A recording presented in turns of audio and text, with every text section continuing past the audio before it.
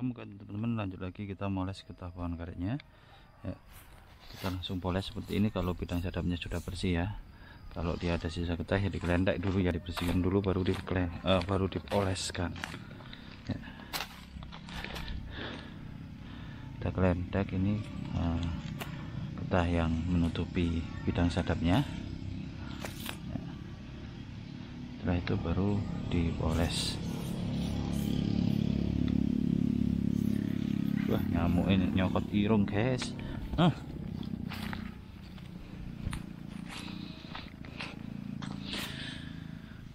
Nyamuknya tahu kalau hidung muka bagian muka nggak dikasih obat nyamuk.